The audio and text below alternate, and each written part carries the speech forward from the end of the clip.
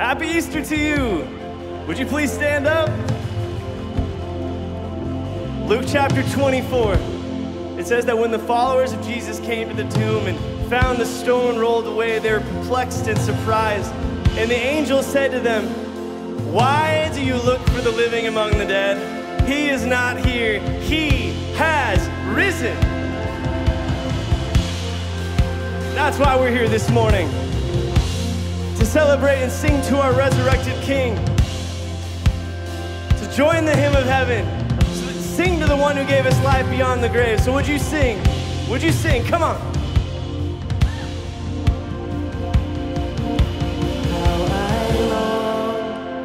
breathe the air.